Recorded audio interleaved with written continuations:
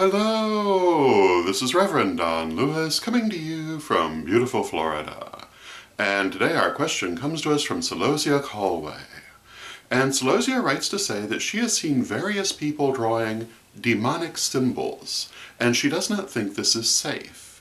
And she asks if I think it is safe to draw unknown symbols in this manner. And the place that I would start in answering this question is that I don't really know what Celosia means by demonic. Does she mean this in a Christian sense, in a ceremonial sense, in an ancient Greek sense, or in an Asian sense? The term could in theory be used in any of these different contexts and have a very different meaning.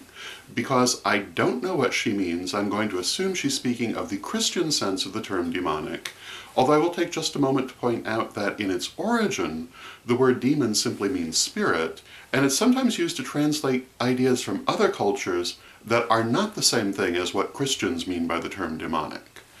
Uh, but again, I'm going to assume that it's the Christian sense that Celosia is asking about.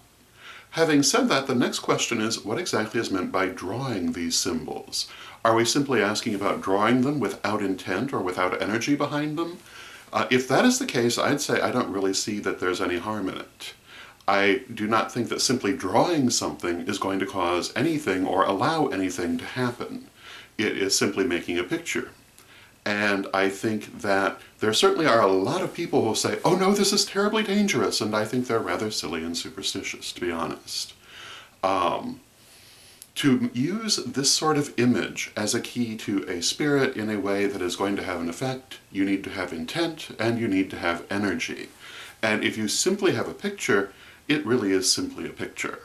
Having said that, if you're talking about using them in a ritual or a magical context, well then I would say you really should know what they mean and you should have a clue to what the picture represents and what it will connect to. But without that intent, it's not going to connect. And in fact, without the intent, the picture really doesn't even have a meaning because it's simply a symbol and it is through the intent that the symbol is activated, and if you don't activate it, it again is simply a picture.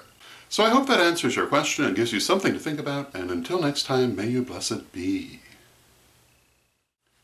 Today's vlog is brought to us by the term sigil. Sigils. A sigil is a magical symbol representing a deity, spirit, or concept in picture form. A sigil is usually very abstract and easy to draw so that anyone can use it. Sigils are very important in magic because they convey complex ideas in simple forms and because in former times people who used magic often could not read and so relied upon pictographic forms to convey ideas much more than people tend to do today.